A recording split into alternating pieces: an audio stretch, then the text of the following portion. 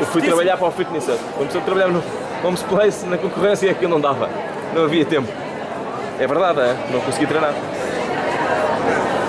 Agora tenho uma vida mais, mais, mais, mais, mais pá, dá-me para gerir melhor. Eu não consegui treinar, era impossível. Era 14 horas por dia.